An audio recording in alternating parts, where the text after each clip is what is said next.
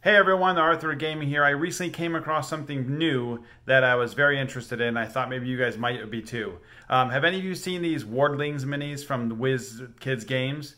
I uh, recently picked up some uh, and I wanted to show them to you. So you guys can find these on WizKids.com. Uh, they are their Wardlings minis. They're about $8 for a mini and a pet that goes with that mini. Um, and I thought they were pretty great. So uh, I figured if I like them, maybe you guys would like them. So here uh, they are. All right, so the cool thing I like about these is every mini comes with a pet. Uh, so on top of just the minis, the character minis being awesome pre-painted WizKids minis as you would expect, um, you know, with things like, uh, you know, there's translucent plastic on various spell effects and that sort of thing, um, which is pretty awesome. Um, just some interesting minis. So we have here, we have a, a girl wizard with a genie, uh, you know, a boy druid with a tree companion. You see he has some translucence. Uh, we have a boy rogue and his monkey, which, you know, who hasn't wanted to have a monkey in, in their life? We have a girl rogue with a badger. Uh, she looks pretty awesome. Uh, boy cleric with a winged snake.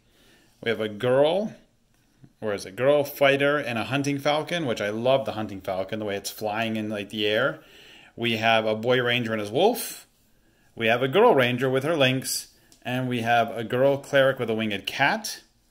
And then we have our girl druid and stone creature. So not only are these really cool minis, and yes, they're they're technically they're children, and they're maybe a tad bit smaller than um, than maybe the adult minis are, but not much if they're anything. They have a nice paint nice paint scheme on them, um, and so the the character minis themselves are good. Uh, very good. However, I think the real value here is the pets.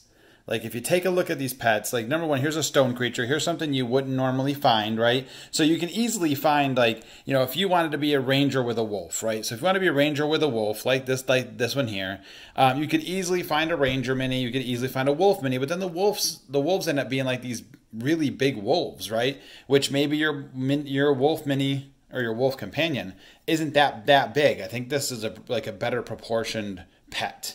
Um, same with like the lynx. Uh, the flying cat, which a, a, a, winged cat, like where are you going to find that mini anyway? Like I love the little stone creature. I think he looks great. I really, like I said, I really love the falcon. So the falcon with that flying base on him, where you know the translucent flying base. I think the falcon just looks really great.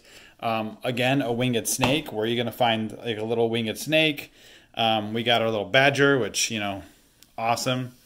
Because honey badger don't give a you know what i'm to say. Um, got the monkey. Now again where are you to find a little tiny monkey like, like like like that that would be kind of an appropriate size for the, for the mini right? Here's the mini. The monkey's pretty close in size. Like we had the you know the monkey here it's pretty good. Like that, that that's a well-sized monkey for that mini. Um, there's a little tree companion which is this cute little tree guy here which is pretty awesome um, maybe for like a blight or something along those lines. And then this one too, like the genie is just awesome. Like this little bluish purplish genie with a book, uh, looking really cool uh, pretty awesome. So, I mean, I don't know about you guys. I mean, I know my son, for instance, he always loves having a pet. Um, every character he makes, he wants to have some sort of pet pet with him. Um, a lot of times ends up being a wolf, like this little ranger here with like a wolf. But you know, he doesn't want to play a ranger every single time either. He wants to play other characters and have pets with them. Uh, if you've any of you have used the Wildermount book um, to do backgrounds. The new Wildermount book had lots of opportunities to get pets in there. We're playing in a campaign right now, and there's four or five of us, um, and each of us end up with a pet after the, after the Wildermount book. So you could easily do something like like like that with these guys. Um, make a campaign based around being kids and kids with pets going through D and D. I mean, you could certainly do something like like that. Um, so anyway, check these out. Uh, they are the um, Wardlings minis from WizKids. You can get them from their website. You can get them from any friendly local gaming store. Again, eight dollars gets you a character and a pet to go to go with it. Um, I think they're pretty great looking.